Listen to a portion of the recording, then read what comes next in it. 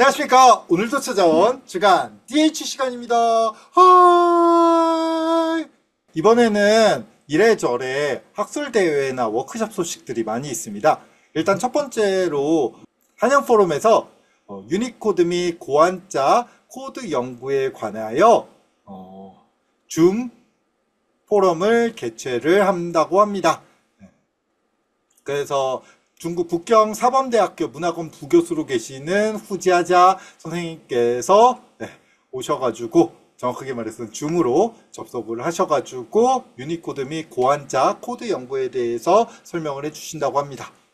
사실 그 문자 코드가 진짜 기본 중에 기본이고 뼈대 중에 뼈대죠. 근데 생각보다 여기에 관심 있는 분들이 별로 없으시더라고요. 근데 정작 이제 닥치게 되면 왜 이 이체자는 입력이 안 되나요? 이 음. 이체자는 어떻게 해야 되나요? 이 한자는 입력이 안 돼요. 뭐 이런 수많은 얘기들을 이제 현실에 닥쳐가지고 고민하게 되죠. 근데 그 근간에는 사실 문자 코드가 있고 그거에 대한 관심은 어떻게 보면 기본 중에 기본으로서 공부해 놓는 게 되게 좋을 것 같고요. 또 줌으로 열리니까 많은 분들의 참여 기대하도록 하겠습니다. 언어가 뭐로 나와 있습니까? 강사, 강의 언어가? 당연히 어, 중국어 아닐까요? 네. 어, 네. 번역이 따로 돼 있진 않은데 줌이니까 자동 번역 되긴 할 거예요. 되- 잘 될까? 어, 진짜. 아, 이분들이 진짜 전 궁금하면 제 김바로 선생 옆에 이제 놓고 이제 고문하면서 막 통역해, 통역해 하도록 하겠습니다. 아니 여기 중국어 능력자들 꽤 있으신 집단이에요. 네.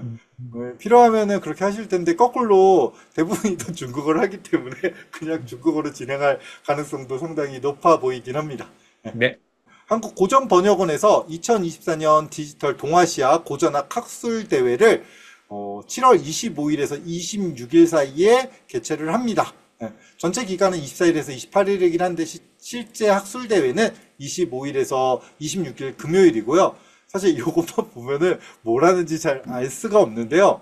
이제 세부 일정표를 보시면은 생각보다 되게 재밌는 내용들이 꽤 있습니다. 예.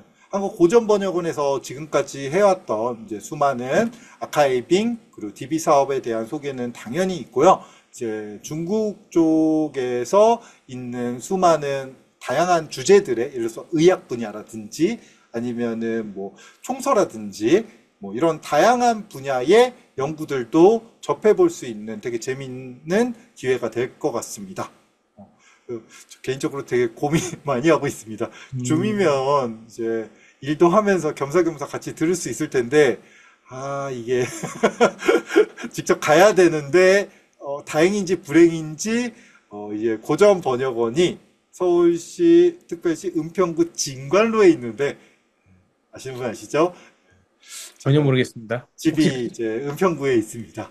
음, 그래서 어, 서울에 집이 있으시구나. 여기 가기가 좀 좋아서, 네, 갖고.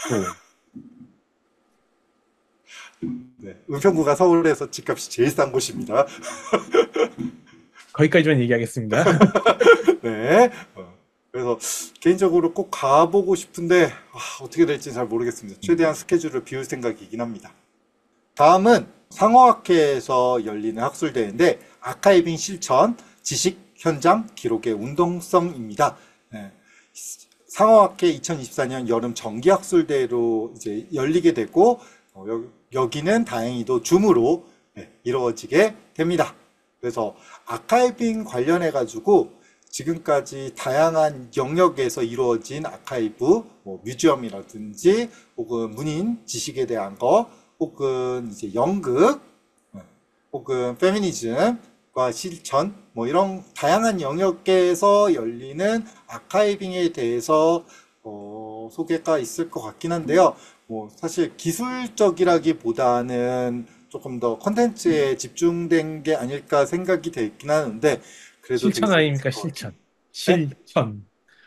아카이빙 실천. 실, 실제로 화려한 기술보다 음. 컨텐츠가 중요합니다.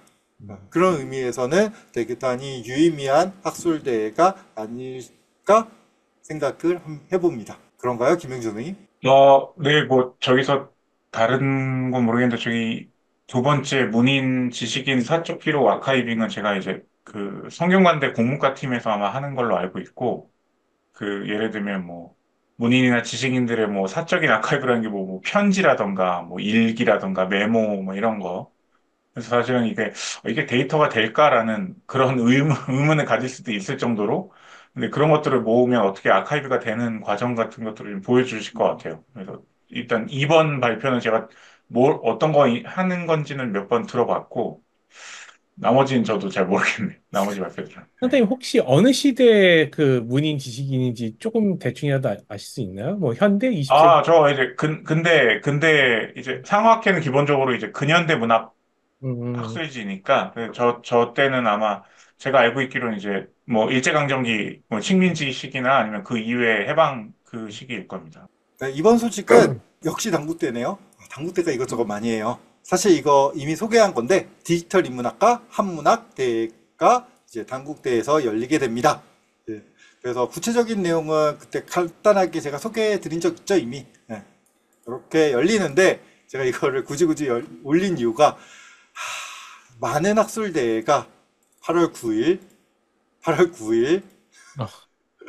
8월 9일 이렇게 열리고 예, 또 추가적으로 국립국어원에서 모두의 말뭉치 워크숍이 열리는데 이것도 8월 9일입니다.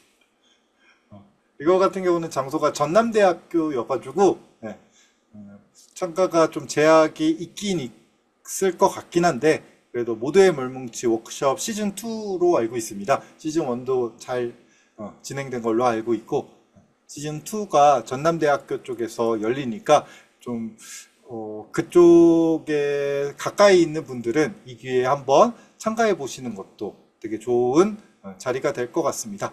뭐 기본적인 내용은 이렇게 되어 있는데요. 이제 말뭉치 그동안 어떻게 해왔고, 뭐 앞으로는 어떻게 할 거고, 특히 AI 시절에 어떻게 할 거고, 특히 이제 고려대학교 송상호 선생님께서 tutorial 시간으로 쭉 잡아가지고 좀 실질적인 것도 같이 알려주실 것 같습니다.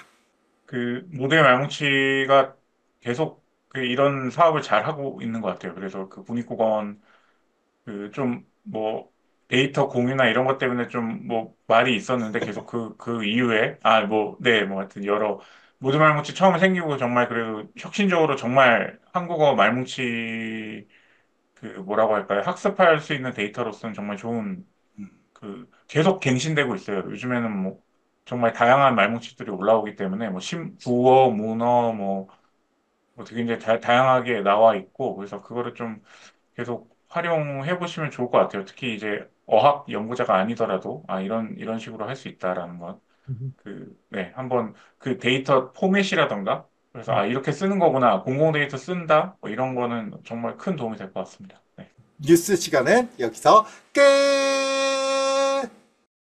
구독과 좋아요 눌러주세요.